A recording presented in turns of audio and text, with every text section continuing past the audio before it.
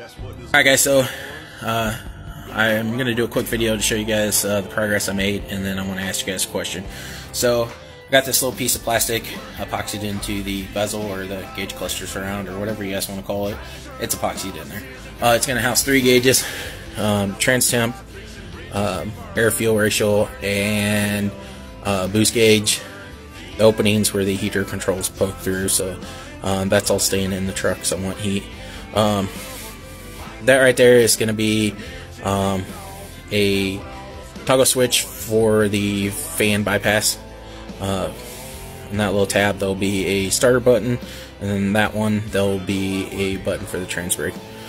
Over here, I was going to mount a 7 inch tablet in the center, and then a gauge in each corner, which would be um, voltage, gas gauge, oil pressure, and coolant. Um, but now I'm thinking about leaving the uh, tablet out and mounting a speedometer in there. Um, I think that would look pretty good.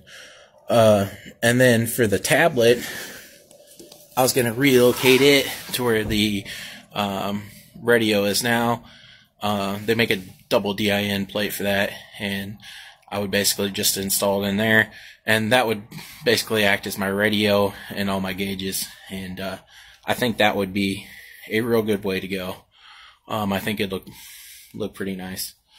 Um, yeah, making progress. But you guys tell me, do I put the Kindle in here, or do I put it where the radio is now? Let me know what you guys think.